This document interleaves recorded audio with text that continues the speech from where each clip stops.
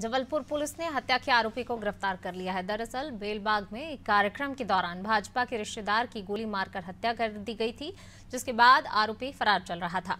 मामले में कार्रवाई करते हुए पुलिस ने आरोपी को हिरासत में ले लिया है। फ़िलहाल पुलिस आरोपी से पूछताछ कर रही है।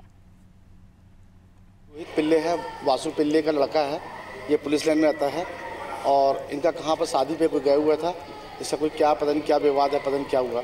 कोई फायरिंग से हो गई थी, गलती से हो गई है। अभी ये उसकी यहाँ सिटी हॉस्पिटल लेके आए हैं, उसकी डेथ हो गई है।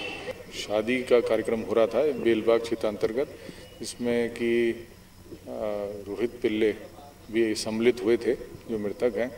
और उसमें जैसा अभी तक की जाँच में आया कि कोई हर्ष फायर जैसा चल रहा था, उसमें गोली उनको लग गई, क्योंकि प्रद्युम्न सोनकर उन्होंने चलाई थी। और इसमें जो पुलिस जो है, इसमें सुसंजित जो धारा है, उसमें अपराध पंजीबद्ध करके उनकी गिरफ्तारी करके विवेचना करेंगे।